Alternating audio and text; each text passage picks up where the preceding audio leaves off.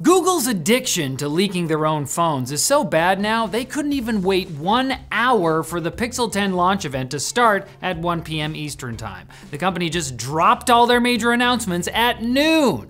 And while I think they officially have a problem and should seek help, that did mean I could start looking at the new Pixel 10, 10 Pro, 10 Pro XL, 10 Pro Fold, and Pixel Watch 4 right away instead of sitting through the pre-stream and being subjective to an onslaught of AI videos depicting pigeons dragging pizza the wrong way. But I was subjected to Google's latest desperate attempt to capture some of Apple's riz in the form of a never-ending stream of celebrities and influencers at the event who, I don't know, probably just showed up because they love talking about pixels when Google pays them to. All the new Pixels share some common features, with the hot new one being Google's answer to Apple's MagSafe, new Pixelsnap magnetic wireless charging, based on the updated Qi 2 standard, with an accompanying magnetic charging pad and stand, as well as the Ring stand, which doesn't charge, but it is very pretty even if it looks like it would be somewhat unstable.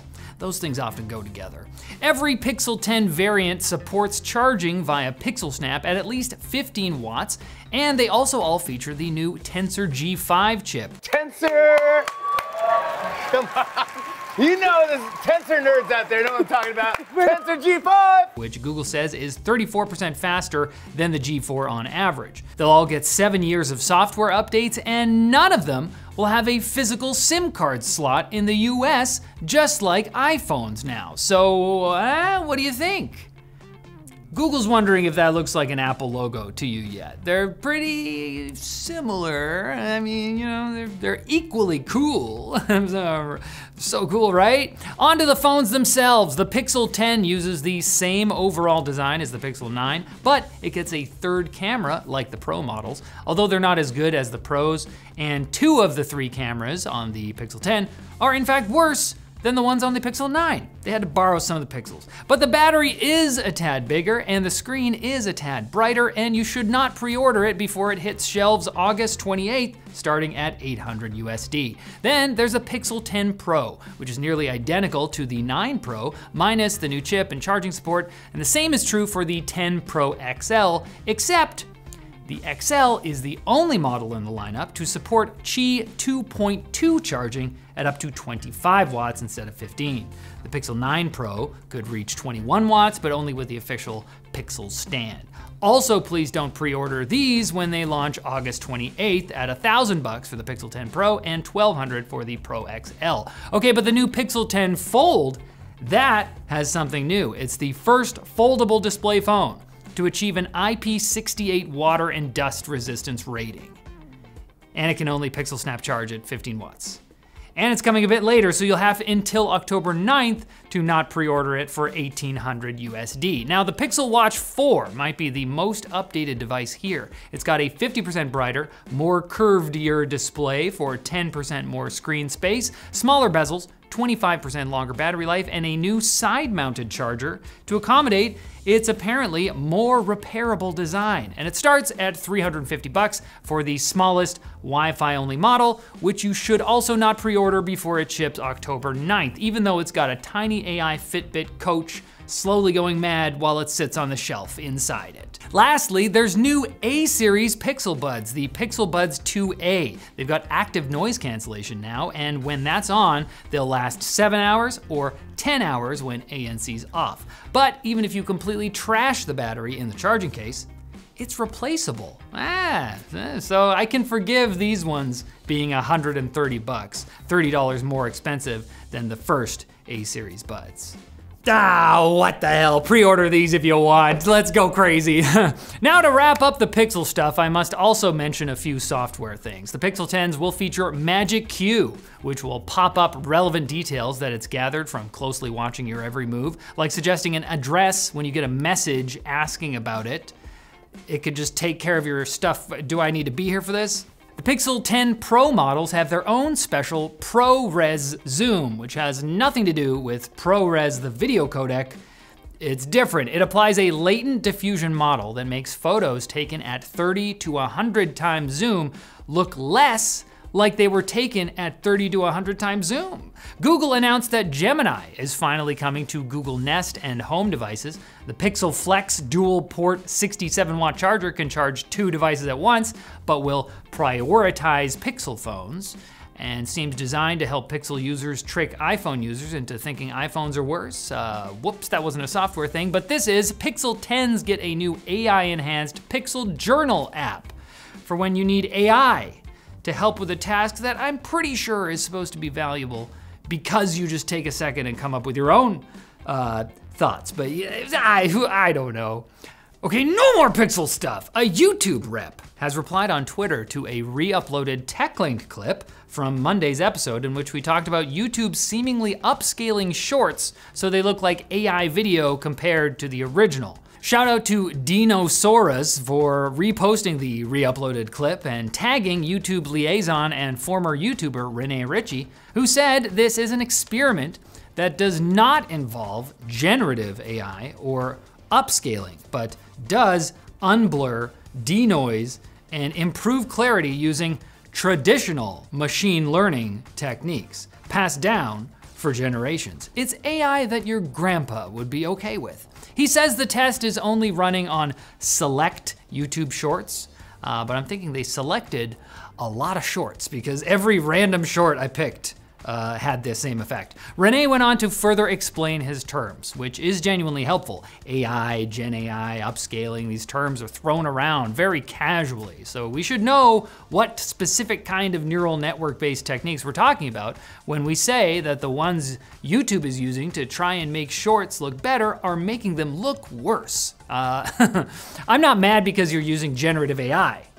I'm mad because you're making real video look like it oozed out of some robot's orifice. Don't succumb to the ooze, succumb to our sponsor, Ground News. They're trying to do something about the fact that the internet has been divvied up into these information bubbles. It's stuffy and crowded in there, and you end up arguing with your mom in the comments. Ground News can help you break free. They aggregate news stories from around the world, breaking down the political leanings and ownership of each news source to help you understand who's reporting on what and where they're coming from. Take this recent story about Minnesota suing TikTok over the risks it poses to young people. More than twice as many right leaning outlets reported on this as left leaning ones. Why is that? Minnesota is a blue state.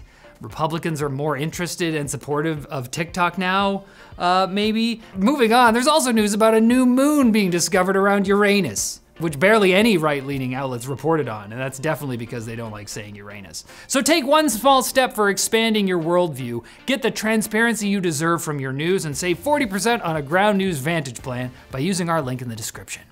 Hey, hey, eyes on me. We're doing the quick bits now.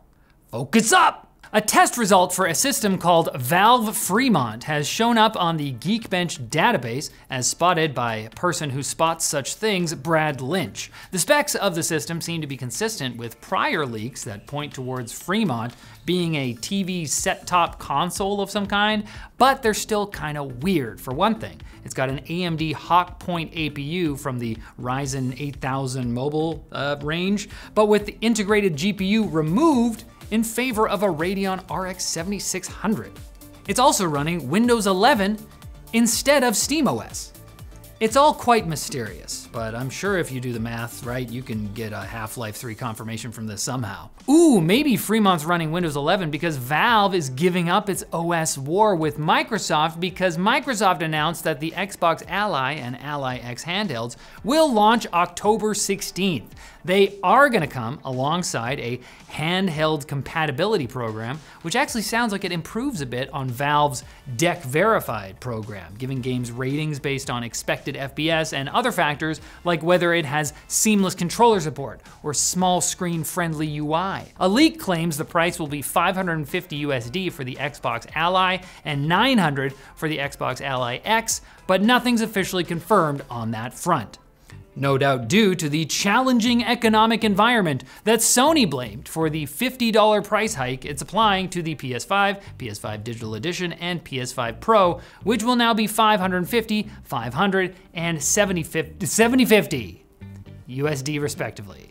The news comes after a similar price hike in Europe, Australia, and New Zealand was announced in April, but sadly, We have no idea why any of this is happening.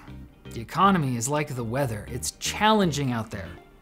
Right now, it's like it's raining. Uh, to wear a coat. And Intel has gotten some help with its challenges. Not only has it gotten a $2 billion investment from Japanese conglomerate SoftBank, the US government has confirmed rumors that it will give Intel the CHIPS Act funding previously allocated to the company as long as the government gets that value, about 5.4 billion, I think, in Intel equity. Some are concerned about the US government's uh, having a stake in a very important private company such as Intel, but you know who's not concerned?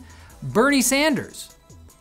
He's all for this, apparently, uh, confusing everyone, except me, the only one who understands the economy. Commerce Secretary Howard Lutnick confirmed the investment to CNBC, not to be confused with MSNBC, which is not to be confused with its new name, MS Now, which stands for My Source News Opinion World which sounds like a theme park for the AI they'll eventually replace me with. But not yet! Haha! Ooh, sorry, Zuck. I'm gonna be right back here on Friday with more tech news. Even if you give me and my whole family free tickets to my Source News Opinion World. Because, okay, I'm through the gate, and I, what, I'm gonna spend $100 on lunch now? Come on!